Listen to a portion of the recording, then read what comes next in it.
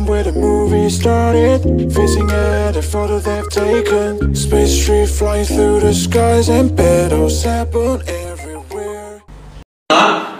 Và ngày hôm nay chúng ta sẽ sử dụng kỹ năng SEO của mình và tôi sau khi các bạn thực hành xong tôi sẽ chia sẻ bài học bài học hôm nay chúng ta có hai công thức thôi 4B là gì? Rồi lập kế hoạch giống như sáng ờ, cô Nhi đã nói đã chia sẻ cho bạn đó đúng không? ạ? Là chúng ta lập kế hoạch là gì?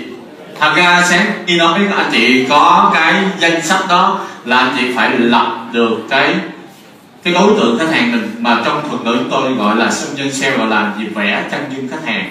Ví dụ như sau này các bạn có học cái khóa marketing online á các bạn mà chạy facebook quảng cáo, ở đây có ai đã từng chạy quảng cáo facebook chưa?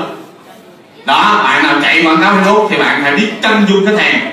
Ví dụ như bạn đó là khách hàng là đối tượng là nam, nữ người đó là người làm văn phòng khác với người làm ở cơ quan nhà nước hoặc là người đó là kinh doanh tự do hoặc là những người đó làm việc gì chúng ta phải vẽ được tranh dung khách hàng. Thì bây giờ tôi sẽ không nói lý thuyết trước. Tôi cho các bạn tự do bán trước giờ như thế nào thì tôi sẽ edit lại các bạn. Hiệu chỉnh lại. Hiểu không? Đó là luật chơi của ngày hôm nay.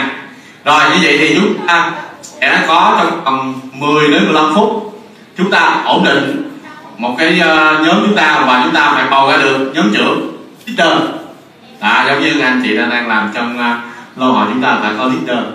Chúng ta phải bầu và người đó phải đủ đức đủ tài. Và người đó sẽ đại diện cho nhóm chúng ta. Đến sale. Đúng không? Rồi hiểu được chưa? Đúng không? Chúng ta hiểu không? Rồi hiểu ra nhà có tay ok.